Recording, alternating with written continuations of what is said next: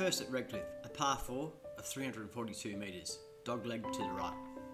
Off the tee, either take a long iron or a 3 wood to the corner, or the big hitters can take on the trees and go over the corner, but be careful of the fairway bunker. Your second shot is a mid to short iron to a green that's guarded by two bunkers.